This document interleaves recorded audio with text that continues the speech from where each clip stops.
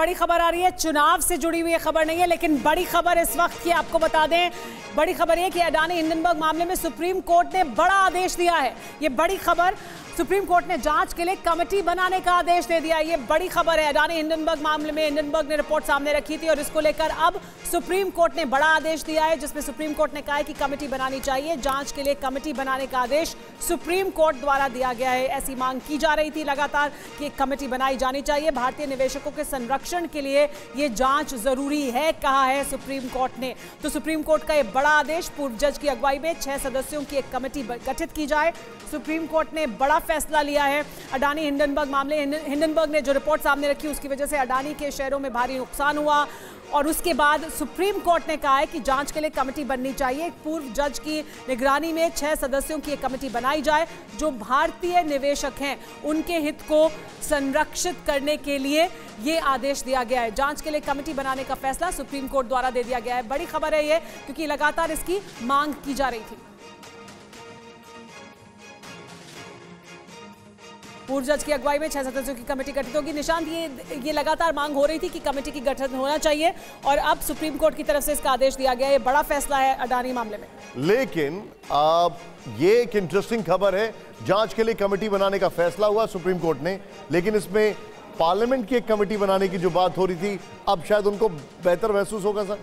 सरकार मानी नहीं रही। गड़बड़ हो गई है। इसलिए वो जेपीसी मना कर रही थी। सर्वोच्च न्यायालय को लगा होगा कि कुछ गड़बड़ है इसलिए उन्होंने जाँच की कमेटी बनाई। लेकिन मैं पूरे उसका निर्णय का इंतज़ार करूँगा क्योंकि जाँच कमेटी का एरिया ऑफ़ ऑपरेशन क्या होगा ये बहुत इंपॉर्टेंट होता है।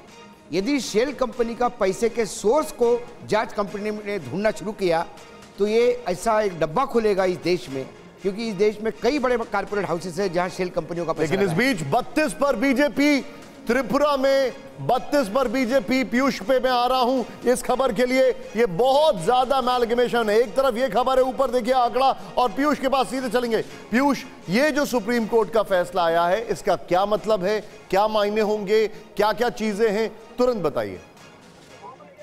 बिल्कुल सुप्रीम कोर्ट ने जो कमेटी गठित की है उसमें उसको जाँच करनी है, खासतौर पर जो मैनुपुलेशन हुआ शेयर मार्केट में और उसके अलावा जो आरोप लगाए गए हिंडनबर्ग की रिपोर्ट में उसको लेकर के जस्टिस अभय मनोहर सप्रे के नेतृत्व में जो कमेटी गठित हुई है उसमें O P Bhatt justice J P Deodhar के, केवी कामत नंदन नीलकेनी सोमशेखर सुंदरेशन शामिल हैं। इस कमेटी को दो महीने में अपनी रिपोर्ट सील कवर में सुप्रीम कोर्ट को देनी है और सुप्रीम कोर्ट ने ये भी कहा है कि सेबी भी अपनी रिपोर्ट इस मामले में दो महीने में सुप्रीम कोर्ट को सौंपेगा।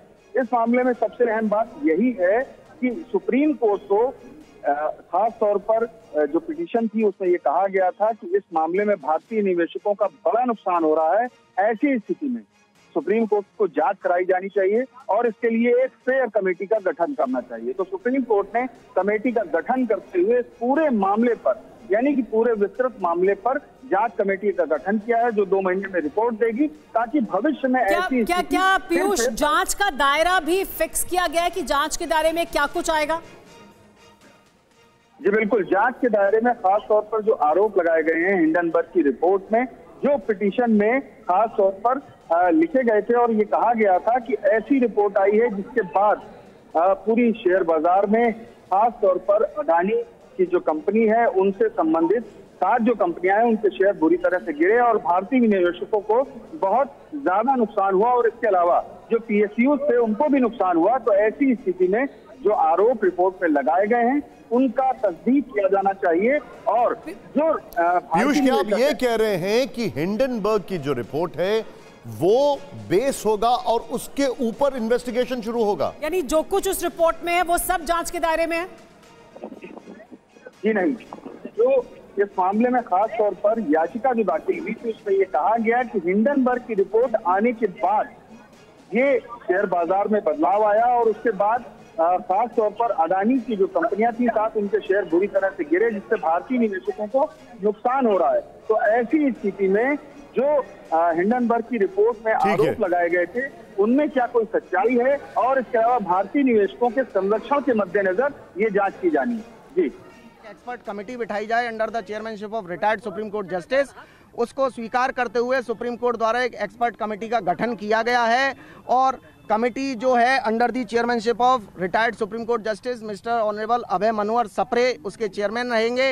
Other members O P Bhatt Devi Deodhar K V Kamath Somashekhar Sundaram भी रहेंगे और इस कमेटी को जो सुप्रीम कोर्ट के समक्ष रिपोर्ट रखनी है, उस रिपोर्ट में कमेटी इंक्वायरी यह करेगी कि ऐसे सुझाव लाएगी कि आगे जो रेगुलेटरी मैकेनिज्म है, उसको किस तरह से मज़बूत किया जा सके ताकि इन्वेस्टर्स का जो पैसा है, वो सुरक्षित रहे। साथ ही में हिंडनबर्ग रिपोर्ट में जो आरोप हैं या जो तथ्य बताए गए हैं, उनकी भी जाँच करेगी और आगे कैसे मज़बूत किया जाए वर्तमान रेगुलेटरी मैकेनिज्म उसकी भी जाँच करेगी। साथ ही साथ कोर्ट ने यह भी कहा है कि सेबी जो इंक्वायरी कर रही है वर्तमान में, वह इंक्वायरी सेबी करती रहेगी और within two month SEBI को अपनी इंक्वायरी रिपोर्ट इस कोर्ट के सामने भी देनी है।